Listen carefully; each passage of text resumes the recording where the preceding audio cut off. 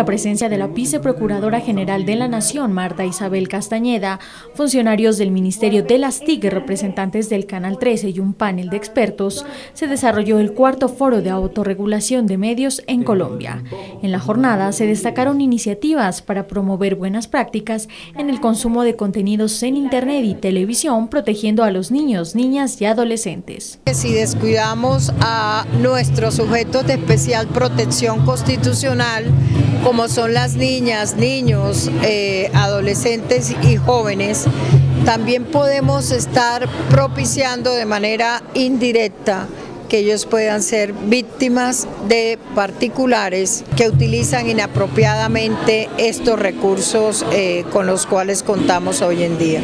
Los foros buscan alertar a la familia y docentes de los peligros que corren los menores y promover buenas prácticas que tiendan a minimizar los riesgos de este sector que abarca el 50,4% de todos los habitantes de Colombia y en busca del aprovechamiento de las herramientas de comunicación, en el evento se destacó la implementación del Vive Lab en la capital de Nariño. Pasto es una de las ciudades seleccionadas para tener un Vive Lab. Tenemos, eh, estamos trabajando con la alcaldía y nuestro operador es Parquesoft.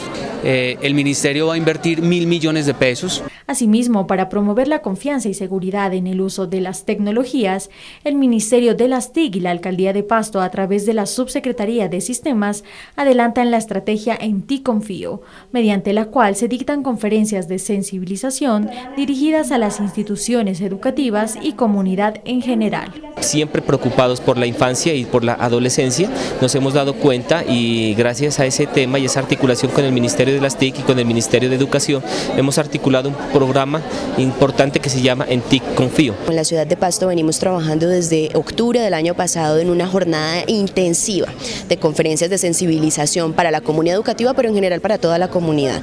Padres de familia, empresarios, juntas de acción comunal, iglesias, donde nos llamen, donde nos citen, ahí estamos. Promover buenas prácticas en el país que minimicen los riesgos de la población y aprovechar las herramientas es el primer paso para que Colombia se posicione en uno de los países más competitivos desde el punto de vista tecnológico.